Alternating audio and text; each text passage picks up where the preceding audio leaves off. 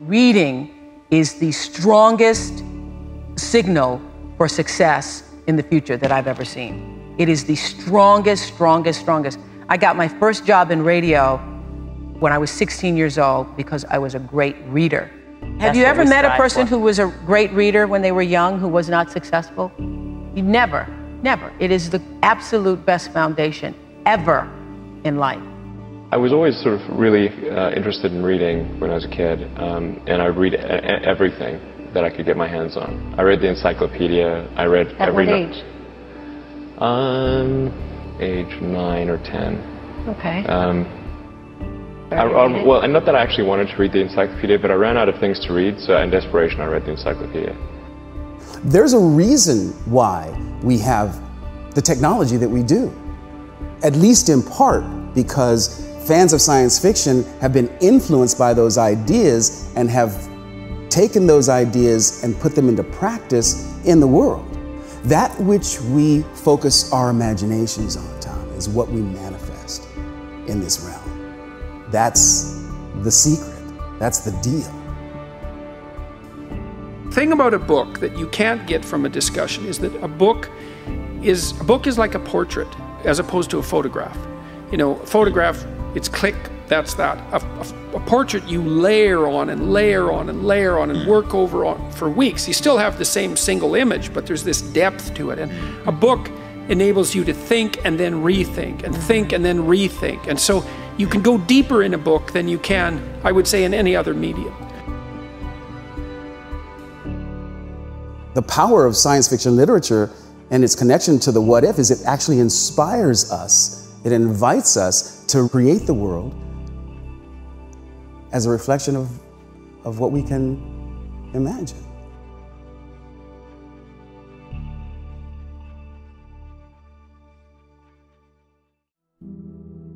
How many people believe that we could go beyond what we believe that we could go beyond?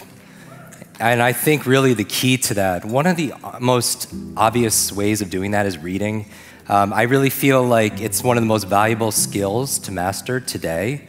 It's, it's something where if somebody has decades of experience in anything and they put it into a book, and you could read it in a day or two or three or four, you could download decades in into days. I think it's the ultimate advantage there is.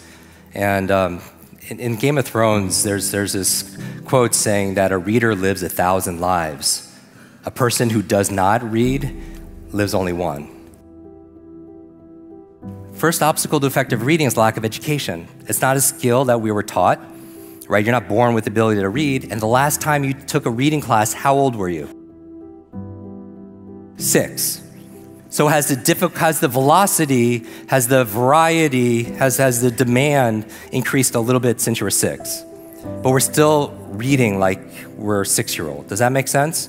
And so you want to upgrade those kind of skills. Second obstacle to effective reading is lack of focus. Lack of focus. How many of you, when you read, your mind wanders and you can't concentrate? One of the reasons why is you're reading too slow. And this is a big rumor being spread around, I think, by slow readers. But if I, if I ask you to read faster, what do you think will happen to your read, reading understanding comprehension? You feel like it'll go down. In actuality, it goes up. Like we have online program in 100, 180 countries, students, so we have a lot of data. Fastest readers tend to have the best comprehension because they have the best focus. Because your brain is a supercomputer, but when most people read, they feed this supercomputer one word at a time. Metaphorically, notice the feeling that you have, the sensation you feel when I talk slowly. You're like, you know, you're like, and then your mind, after over time, will start wandering, it'll be distracted, you start falling asleep, you start doing other things. Isn't that what you're doing already when you're reading? You're reading too slow. Just like when I talk too slow, your mind goes everywhere. That's the reason why.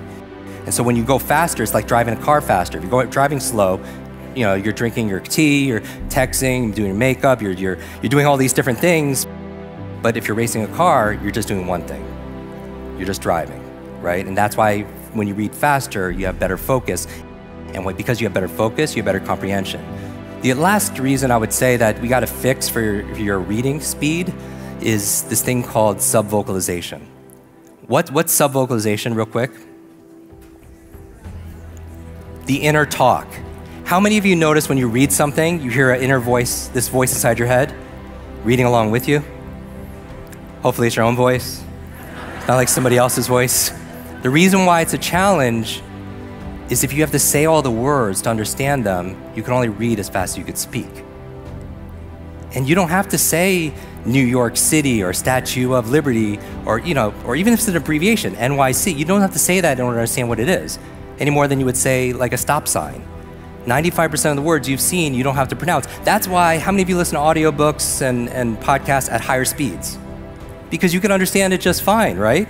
You just can't talk that fast.